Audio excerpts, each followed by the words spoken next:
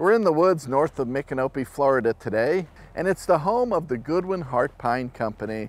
It was founded by George and Carol Goodwin in 1976, and what the Goodwins do is they recover 200-year-old logs from the bottom of riverbeds, and they transform those logs into beautiful and sturdy lumber using their very own sawmill.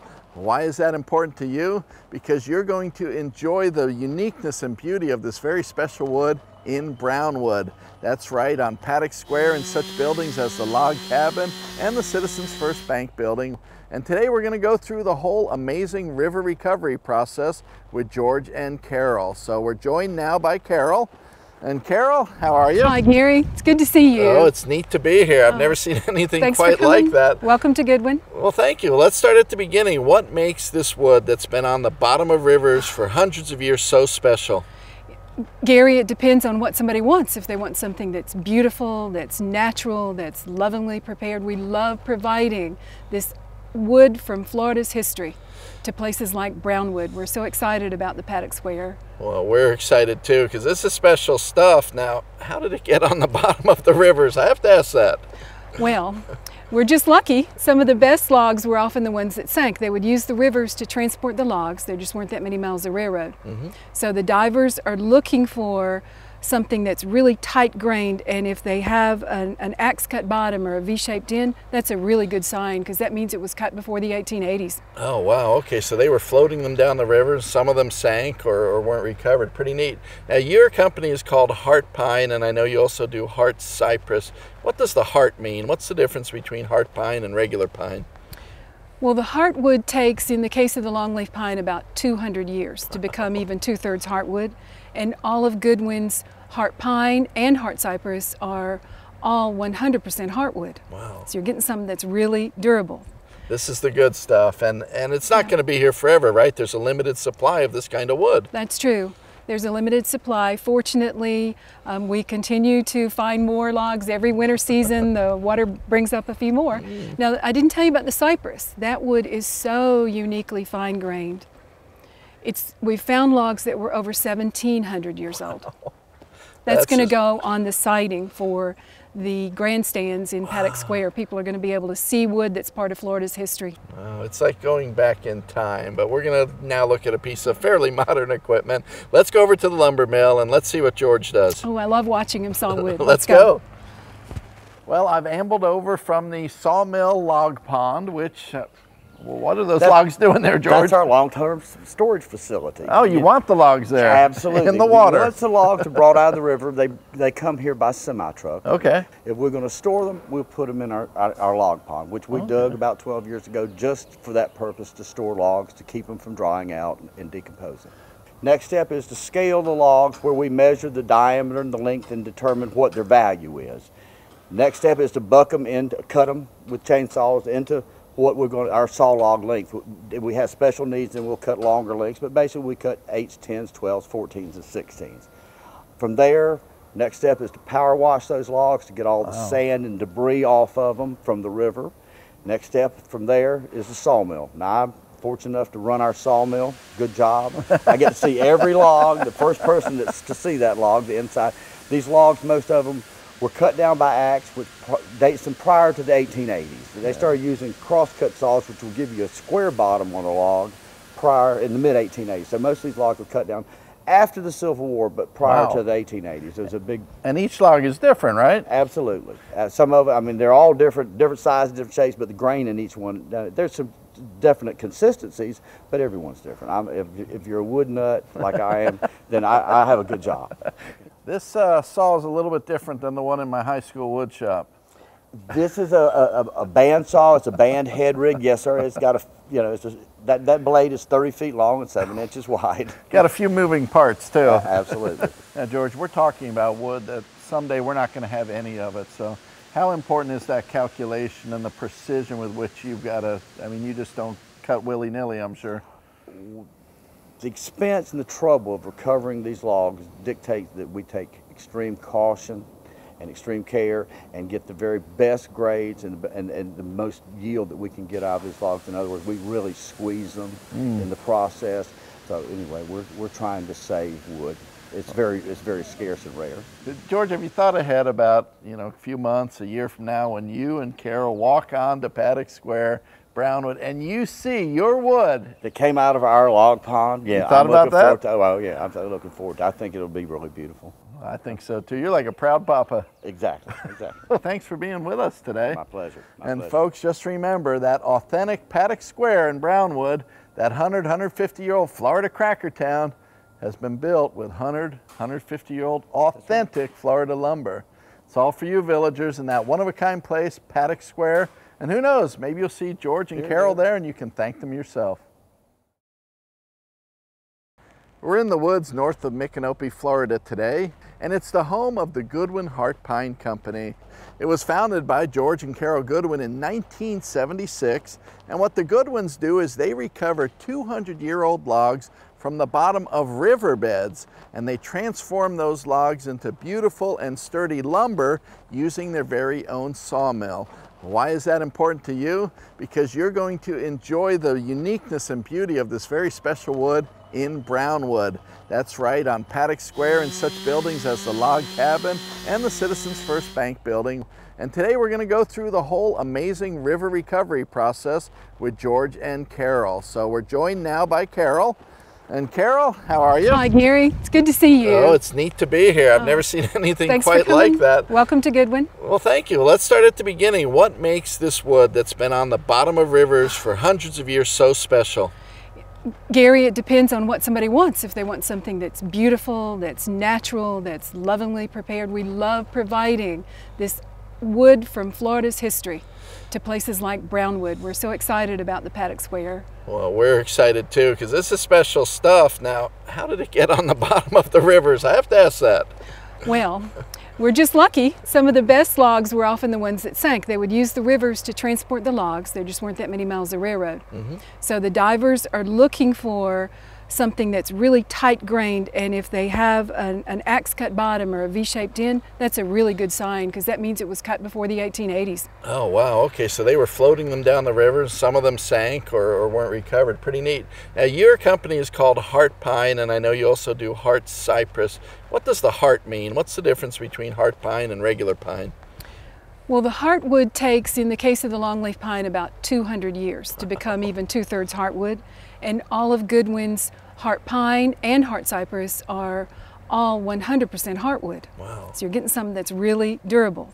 This is the good stuff, and, and it's not going to be here forever, right? There's a limited supply of this kind of wood. That's true. There's a limited supply. Fortunately, um, we continue to find more logs every winter season. The water brings up a few more. Now, I didn't tell you about the cypress. That wood is so uniquely fine grained. It's, we found logs that were over 1,700 years old. That's, That's going to go on the siding for the grandstands in Paddock Square. People are going to be able to see wood that's part of Florida's history. Oh, it's like going back in time, but we're going to now look at a piece of fairly modern equipment. Let's go over to the lumber mill and let's see what George does. Oh, I love watching him saw wood. Let's go. Well, I've ambled over from the sawmill log pond, which, uh, well, what are those logs doing there, George? That's our long-term storage facility. oh, you want the logs there? Absolutely. In the water. Once the logs are brought out of the river, they, they come here by semi-truck. Okay. If we're going to store them, we'll put them in our, our, our log pond, which we dug about 12 years ago just for that purpose, to store logs, to keep them from drying out and, and decomposing. Next step is to scale the logs where we measure the diameter and the length and determine what their value is. Next step is to buck them in, cut them with chainsaws into what we're going, to, our saw log length. We have special needs, then we'll cut longer lengths, but basically we cut 8s, 10s, 12s, 14s, and 16s. From there, next step is to power wash those logs to get all the sand and debris off of them from the river. Next step from there is the sawmill. Now, I'm fortunate enough to run our sawmill. Good job. I get to see every log, the first person that's to see that log, the inside. These logs, most of them were cut down by axe, which pr- dates them prior to the 1880s. They started using crosscut saws, which will give you a square bottom on a log prior in the mid 1880s. So most of these logs were cut down after the Civil War, but prior Wow. to the 1880s. It was a big, And each log is different, right? absolutely. Uh, some of it, I mean, they're all different, different sizes, different shapes, but the grain in each one, uh, there's some definite consistencies, but everyone's different. I'm, if, if you're a wood nut like I am, then I, I have a good job. This uh, saw is a little bit different than the one in my high school wood shop. This is a, a, a band saw. It's a band head rig. Yes, sir. It's got a, you know, it's a, that, that blade is 30 feet long and seven inches wide. Got a few moving parts too. Absolutely. now, George, we're talking about wood that someday we're not going to have any of it. So, how important is that calculation and the precision with which you've got to? I mean, you just don't cut willy nilly, I'm sure. The expense and the trouble of recovering these logs dictates that we take extreme caution and extreme care and get the very best grades and, and, and the most yield that we can get out of these logs. In other words, we really squeeze them mm. in the process. So anyway, we're, we're trying to save wood. It's very, it's very scarce and rare. George, have you thought ahead about, you know, a few months, a year from now when you and Carol walk on to Paddock Square Brownwood, and you see your wood that came out of our log pond. Yeah, you thought I'm about that? To, oh, yeah, I'm looking forward to. I think it'll be really beautiful. I think so too. You're like a proud papa. Exactly, exactly. well, thanks for being with us today. My pleasure. My and pleasure. folks, just remember that authentic Paddock Square in Brownwood, that 100, 150 year old Florida cracker town, has been built with 100, 150 year old authentic right. Florida lumber. It's all for you villagers in that one of a kind place, Paddock Square. And who knows, maybe you'll see George and Carol there and you can thank them yourself. We're in the woods north of Micanopy, Florida today, and it's the home of the Goodwin Heart Pine Company. It was founded by George and Carol Goodwin in 1976, and what the Goodwins do is they recover 200-year-old logs from the bottom of riverbeds, and they transform those logs into beautiful and sturdy lumber using their very own sawmill. Why is that important to you? Because you're going to enjoy the uniqueness and beauty of this very special wood in Brownwood. That's right, on Paddock Square in such buildings as the Log Cabin and the Citizens First Bank building. And today we're going to go through the whole amazing river recovery process with George and Carol. So we're joined now by Carol.